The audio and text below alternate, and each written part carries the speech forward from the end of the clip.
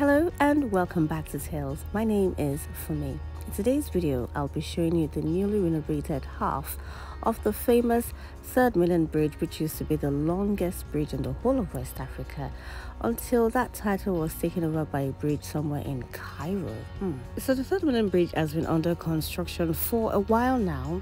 So it's just a half of it. I mean, the other side is still under construction. So what that means is that you can travel from the mainland to the island from 12 midnight to 12 in the afternoon.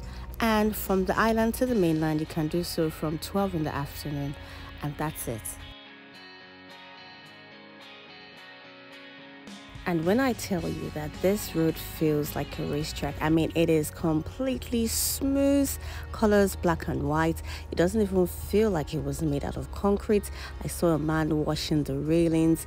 Some people said, oh, this is what typical roads in Abuja looks like. I haven't seen anything like this, something as smooth as this in Lagos of years, except for the one I'm seeing right now on Third Bridge. It is so clean, people. When I say it is clean, it is so, so clean to the fact that I saw somebody racing.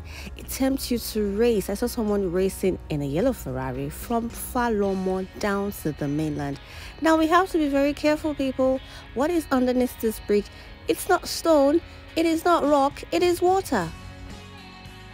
And already it feels like we're on track because the bridge has been closed since January and it will be closed for six months. We're already in March and the first half has been completed and now they moved over to the second half of the bridge. And once that is done, we're going to be having a brand new road on our third mainland bridge. Now, someone said on TikTok, why is she so gassed? Because she's talking about the basics, what we should be having. Why is she so excited? I'm excited because typically on this bridge, if you were to convey yourself from the mainland to the island, you shouldn't be spending more than 12 to 15 minutes because that's actually the stretch or the duration you should be on the bridge. But on a very bad day, which we'll be having very bad days, you can be on this bridge maybe on a Monday morning, convene yourself to work or the market or to your business or wherever, and you can spend as long as four hours in traffic. Now that's crazy.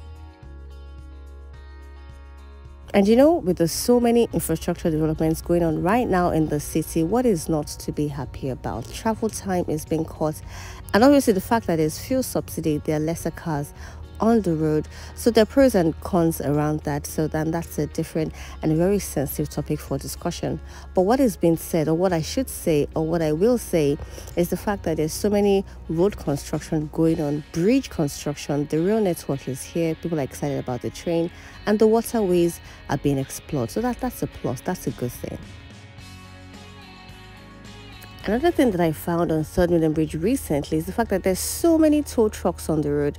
Aside from LASTMA, it's as though they, there's, there's a newly introduced car that I saw or vehicle type.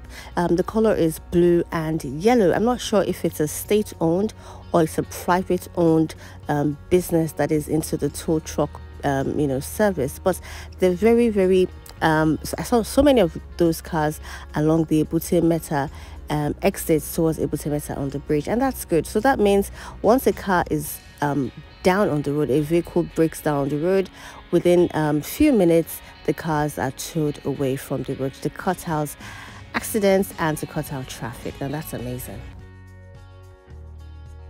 Now, having said that, here are some things I feel should be implemented ASAP once the bridge is open for use. One is the installation of street lights from the length and breadth of the bridge well illuminated so that people can see well at night.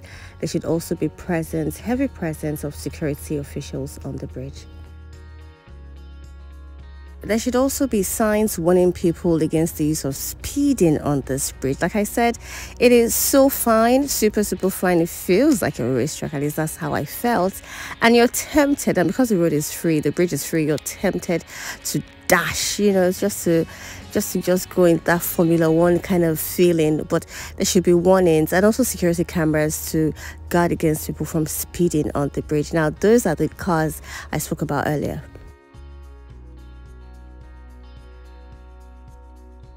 And this video was shot on a weekend, so perhaps shooting it on a weekday would make more sense to see whether there's traffic.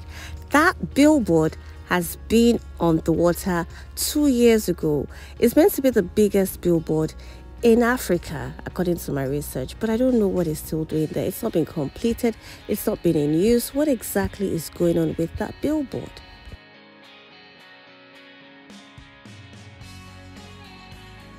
Now, having shown you what the bridge looks like from the beginning of the video up until now, what are your thoughts? It'd be nice to hear your thoughts as to what you think should be on the bridge or should be taken out and what, um, what you think of the bridge generally. And so hopefully we come back now April, May, June. We come back in June once the other half is open and see whether or not they were able to keep the time and also review what the other half of the bridge looks like. Hmm? Now, that said, it would be a good time for me to dash off on Third Mainland Bridge. I was just joking. It's really a good time for me to get off on this video and bring up another video for you to watch and enjoy. Don't forget to leave me a comment and let me know what your thoughts are on this particular video. And um, don't forget to subscribe as well. Okay, now we have descended, finally descended the bridge, the third Mainland Bridge. And thanks again for sticking with me in this video. And I hope to see you around in my next video. Have a brilliant day, people. I'll see you again. Good day now.